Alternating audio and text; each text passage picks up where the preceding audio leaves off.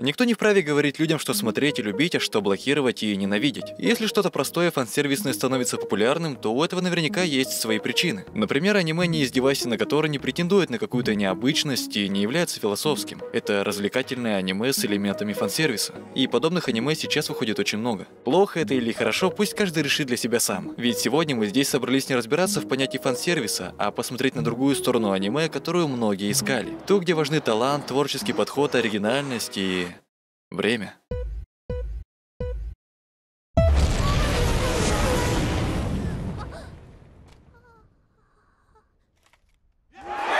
Творческого человека от корпоративного деятеля отличает один важный фактор. Творческий человек постепенно выгорает, когда копирует одну и ту же картину 10 лет подряд. Обычно это называют кризисом творца, и чтобы выйти из него, творец начинает искать новые вещи, которые могли бы вдохновить его. Так в творчестве появляются новые стили музыки и элементы визуального повествования. Например, Евангелион, который показал, что сериальное аниме можно делать и для взрослых. Или Redline, где Такеси Койка изобрел новый визуальный стиль с глубокими черными тенями и сильным контрастным цветом. Только тут я вас не немного обманул. Окей, выстроим цепочку с самого начала. Глубокие тени используются уже кучу лет в разных стилях. Барокко, поп-арт, кич, гранж, киберпанк. Первым черные тени в аниме использовал Юшиаки Каваджири во второй короткометражке из альманаха Нео Токио в 1987 году. До 2000 года этот стиль нигде не прижился, пока к нему снова не вернулся Юшиаки Каваджири с фильмом Ди «Охотник на вампиров». Через год с таким подходом к теням вышел Хелсинг. В аниме это не было повсеместным и применялось только в акцентирующих моментах, но все же использовалось. И вот теперь этот стиль находит своих авторов. Black Samurai.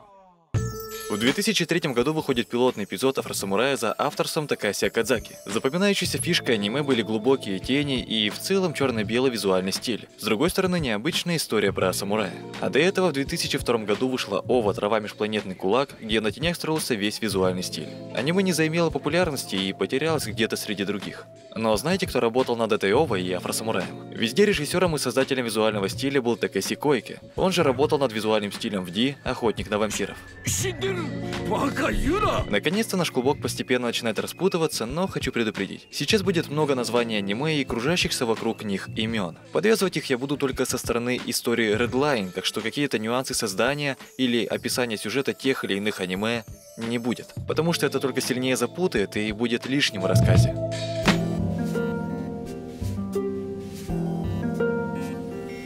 Такэси Койки еще будучи подростком зафанател от аниме «Галактический экспресс 999» и захотел стать аниматором. Начал он свою карьеру в 1987 году с аниме-фильма «Город чудовищ». Затем он участвовал в Сидзюку Город Ад, Гоку Полуночный глаз, Киборг Эда 808 и многих других. Все они были ориентированы на взрослую аудиторию и придерживались одного визуального стиля, который тогда был популярен внутри Мэтхаус. И нам здесь важен тот факт, что почти во всех проектах, где участвовал Такеси, режиссером был Йошиаки Каваджири. Это второй человек, которым вдохновлялся Такеси. С таким наставником наставником он работал вплоть до 2000 года, пока не познакомился с Кацухита Ищи. Они вместе со звездным составом сделали четырехэпизодную ОВА под названием «Трава. Межпланетный кулак». Это был режиссерский дебют Такейси в сериальном формате, и в целом его можно назвать удачным. Ведь в следующем году он уже станет режиссером пилотного эпизода Афросамурая, задав свой визуальный стиль для грядущего фильма. И тут же получит звонок от старого наставника Йошаки Каваджири. Он оценил работу над Ова и позвал Такеси режиссером на одну короткометражку в альманахе «Аниматрица». Ту самую про бегуна, которая выделялась глубокими тенями и анимацией персонажей.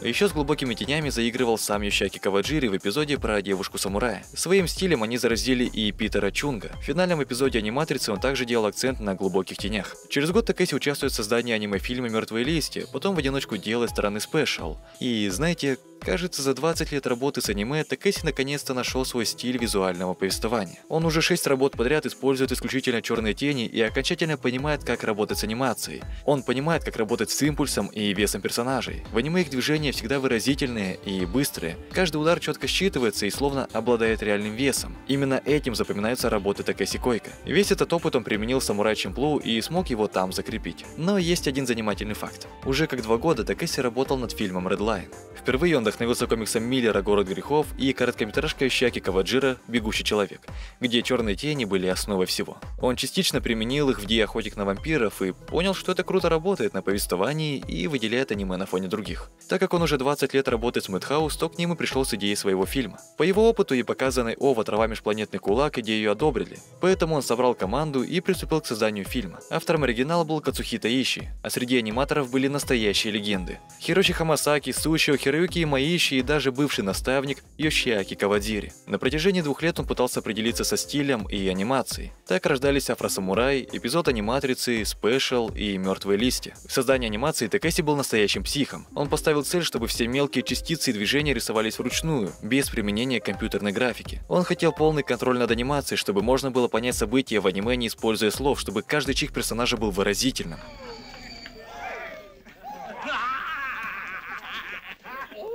Идея Redline похожа на Mad Max. И там, и там гонка из точки А в точку Б. Только если в Mad Max это больше побег от чего-то физического, то в Redline смысл жизни. Зайдем со стороны японских метафор и подтекстов.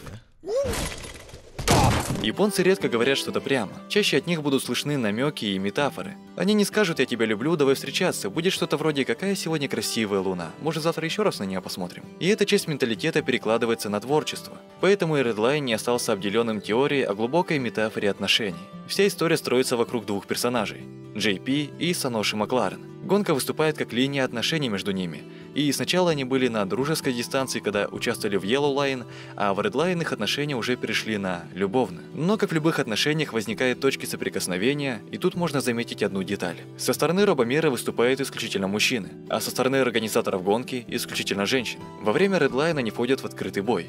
Это как метафора соприкосновения мужского и женского мира. Другие же участники гонки рассматриваются как черты характера главной пары. Мужественность, плаксивость, целеустремленность и тайная любовь со стороны JP. Сексуальность, наивность и решительность со стороны Саноши Макларен. По ходу гонки они обходят все внутренние зажимы, принимают себя и друг друга такими, какие есть. Появление огромного ребенка как вид супероружия – часть отношений между мужчиной и женщиной. Ребенка показывают таким, потому что герои не готовы к нему. Они видят в нем монстра, который крушит все вокруг, не под контролем и приносит только проблемы. На финише отношения сводятся к хэппи-энду. Пара смогла пройти через все испытания, которые есть в отношениях. Обиды, ссоры, желание личного пространства, эгоизм в достижении компромисса и страх ребенка. Поэтому в финале поется о том, как один человек пытается открыться другому. Сказать, что пофиг на мир вокруг, пусть в этот лучший день все наконец наладится, и я еще расскажу. love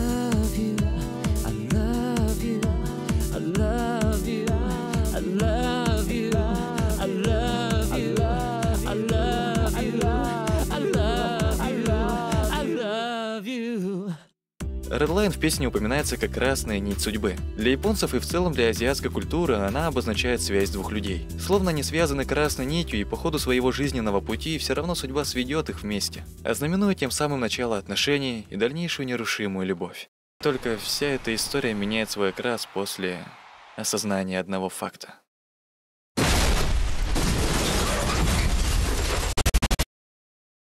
Аниме с грохотом провалилось.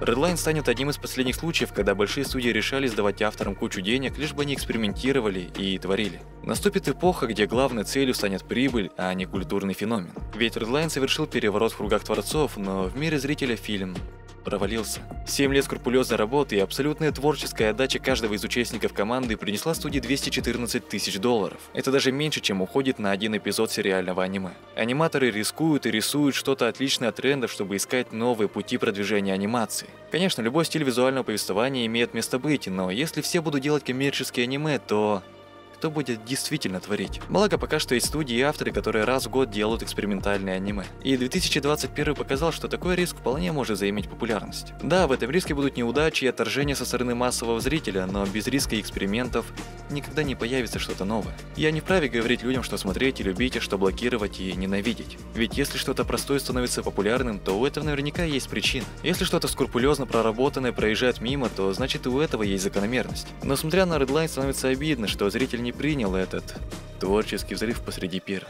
Лапок сам из дату Тянут магистраты и дяди Степы Читающий еврей, но не Матис Яху Двигается по галактике автостопом. Дайте пройти, кидайте в шляпу Кредитные карты, дукаты, злоты. Если водится монет, как у нумизмата Если не гроша, напевайте строки